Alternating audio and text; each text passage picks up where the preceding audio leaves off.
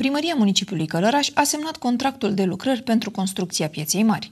Noua piață se va prezenta în fața călărășenilor în aproximativ un an de zile cu o nouă identitate. Centrul vechi al municipiului Călăraș intră prin semnarea acestui contract de lucrări într-o etapă de modernizare ce va continua cu reabilitarea întregului centru pietonal de la strada Sloboziei până la strada Dobrogei, cu ajutorul fondurilor europene.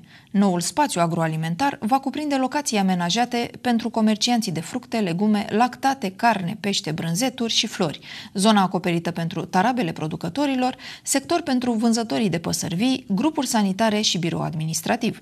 În timpul derulării lucrărilor de demolare și reconstrucție, toți producătorii și comercianții sunt mutați în incinta halei de carne.